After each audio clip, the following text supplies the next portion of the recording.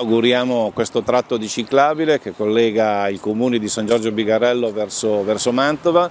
In realtà la ciclabile è pronta da, da, un anno, però anche con le vicissitudini del Covid abbiamo voluto aspettare, e approfittare di questa giornata, che è la giornata internazionale dello sport, per dare anche un ulteriore significato anche di vicinanza al mondo sportivo e a tutti coloro che amano praticare sport anche non solo, non solo agonistico. Inauguriamo questo tratto, ma ci sono altri due tratti. Uno è l'attraversamento che abbiamo realizzato su via Marconi, che collega la ciclabile già esistente con un altro tratto che si va a innestare sulla ciclabile, anche questa già esistente, che è una, ciclabile naturalistica, diciamo, quella della via Castiona.